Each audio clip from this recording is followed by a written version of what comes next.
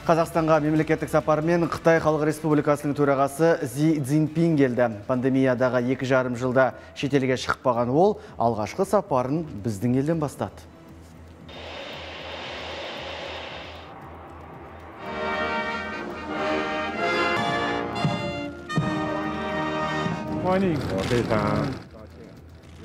елорда әуежайынан қасым жомарт тоқаев пен сап түзеген құрмет қарауылы күтіп алды мемлекет басшыларына аудармашы қажет болмады қос көшбасшы қытай тілінде жылы лебіздерін білдірді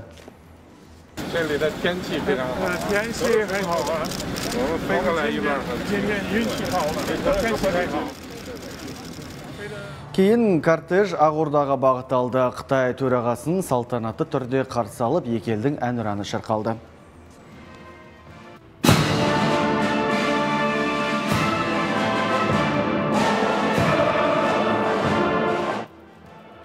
Ресми жиында Тоқаев пен Цзиньпин көлік логистика, азық-түлік өнеркәсібі, ауыл шаруашылық салаларының мәселелерін талқылады. Екі ел арасында дипломатиялық қатынас орнағанына биыл 30 жыл. Ел президенті құрметті қонаққа қарым-қатынастардың жаңа алтын 30 жылдығы басталғанын айтты. 5 жылдан кейін елге ат басын бұрған көшбасшыға екі жақты саяси, экономикалық және мәдени қатынастарды нығайтуға қосқан үлесі үшін Қазақстан Республикасының ең жоғарғы марапаты алтын қыран орденімен наградтады. Бұл марапат қазақстан республикасының ең жоғары наградасы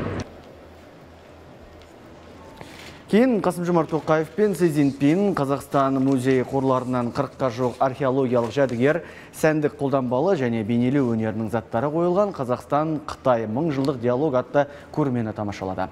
Еске салайын Қытай төрағасы елордада бір күн болады, ертең Өзбекстандағы Шанхай ынтымақтастық ұйымының саммитіне аттанады.